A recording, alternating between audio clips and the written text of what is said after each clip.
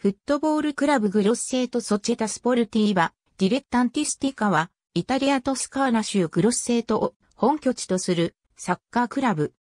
2020から21シーズンは、セリエ C 前身となるアックスグロッセートは1912年に創設され、1921から22シーズンからリーグに参加している。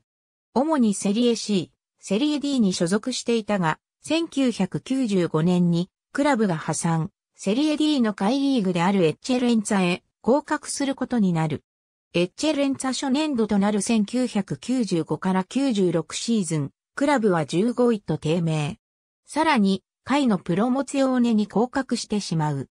プロモツィオーネに所属した1996から97シーズン以降、クラブはようやく上昇傾向となり、同シーズンはプロモツィオーネジローネ B で優勝し、1年でエッチェレンツァに復帰。翌シーズンもエッチェレンツァジローネ A で2位となり、セリエ D 復帰を決めている。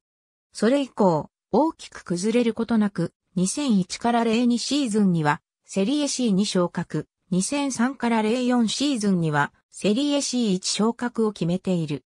セリエ C1 に所属した2004から05シーズン以降、クラブは常にセリエ B 昇格争いに加わり、2004から05シーズンは4位でプレーオフに進出、続く05から06シーズンも4位でプレーオフに進出し、決勝まで進むもフロジノーネに敗れていた。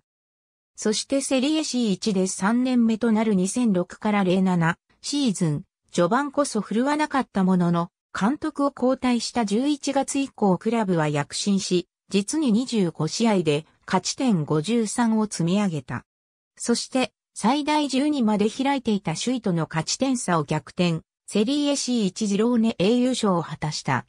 この結果、セリエ B 昇格を決定。これは約100年に及ぶクラブの歴史の中で史上初の快挙である。また、同シーズン、セリエ C1 優勝の2チームが争うスーペルコッパディ、レガプロフェッショニスティディセリエ C1 において、ジローネ B 優勝のラベンナカルチョと対戦。ホームアウェイの初戦は1から1で引き分け、グロッセートのホームとなる第2戦で1から0の勝利を収め、こちらもクラブ史上初となる国内タイトルを獲得している。2008から09シーズンには、セリエ B6 位となり、セリエ A 昇格プレーオフに臨んだが、AS リボルのカルチョに敗退した。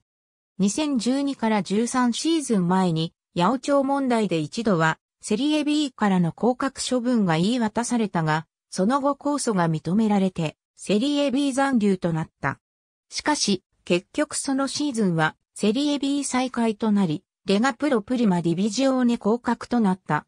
2014から15シーズン終了後、クラブは破産宣告を受ける。2015年8月6日に再建され、US グロッセート FC から現在のクラブ名となった。なし中、選手の国籍表記は FIFA の定めた代表資格ルールに基づく。ありがとうございます。